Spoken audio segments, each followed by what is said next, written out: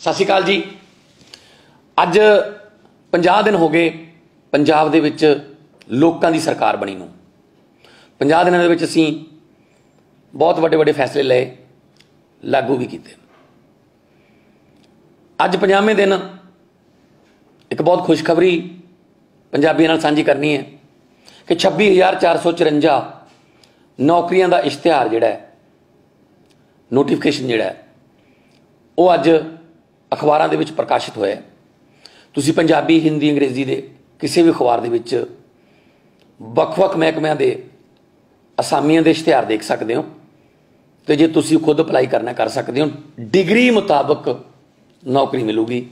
ਕੋਈ ਸਿਫਾਰਿਸ਼ ਜਾਂ ਕੋਈ ਰਿਸ਼ਵਤਖੋਰੀ ਨਹੀਂ ਚੱਲੂਗੀ। ਬਿਲਕੁਲ ਟਰਾਂਸਪੇਰੈਂਟ ਤਰੀਕੇ ਨਾਲ, ਪਾਰਦਰਸ਼ ਤਰੀਕੇ ਨਾਲ ਜਿਹੜਾ ਇਹ ਭਰਤੀ ਹੋਊਗੀ।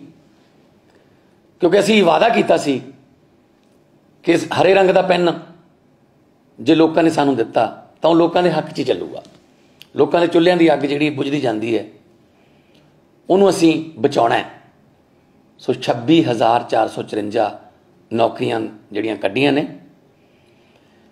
ਆਉਣ ਵਾਲੇ ਦਿਨਾਂ 'ਚ ਹੋਰ ਵੀ ਬਹੁਤ ਸਾਰੀਆਂ ਨੌਕਰੀਆਂ, ਹੋਰ ਵੀ ਬਹੁਤ ਸਾਰੇ ਪ੍ਰਾਈਵੇਟ ਸੈਕਟਰ 'ਚ, ਸਰਕਾਰੀ ਸੈਕਟਰ 'ਚ ਨੌਕਰੀਆਂ ਜਿਹੜੀਆਂ ਨੇ, ਉਹਨਾਂ ਦੇ ਇਸ਼ਤਿਹਾਰ ਵਗੈਰਾ ਆਉਂਦੇ ਰਹਿਣਗੇ।